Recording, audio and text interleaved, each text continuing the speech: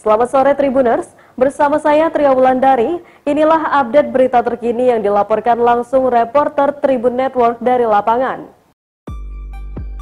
Menteri Pertahanan Prabowo Subianto mendampingi Presiden Joko Widodo dalam pelantikan Laksamana TNI Yudo Margono sebagai Panglima TNI di Istana Negara, Jakarta, Senin, tanggal 19 Desember tahun 2022.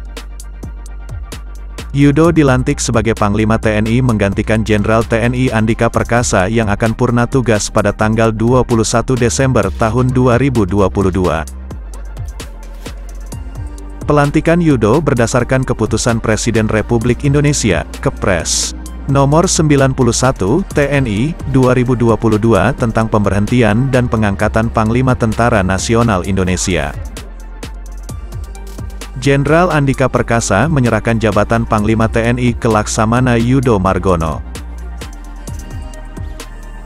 Pada kesempatan tersebut, Prabowo hadir sebagai saksi dalam penandatangan berita acara pengangkatan dan pelantikan Panglima TNI bersama Menko Polhukam Mahfud MD. Prabowo hadir mengenakan setelan jas biru tua dan kopiah hitam. Usai acara pelantikan dan pengambilan sumpah, Prabowo pun berjabat tangan dengan Yudo. Usai pembacaan surat keputusan, dilakukan pengambilan sumpah jabatan oleh Presiden Joko Widodo. Setelahnya, Prabowo mendampingi Jokowi memberikan keterangan pers bersama Yudo.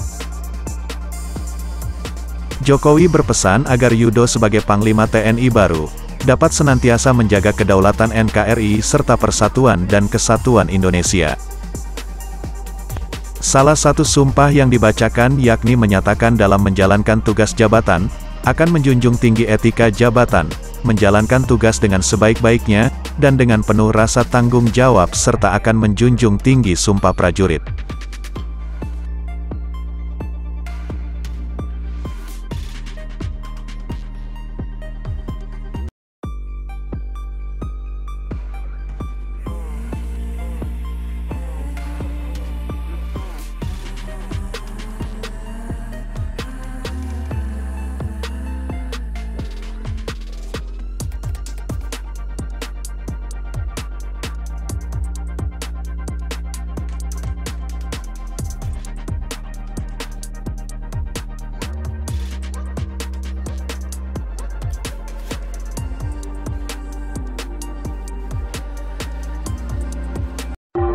Bye.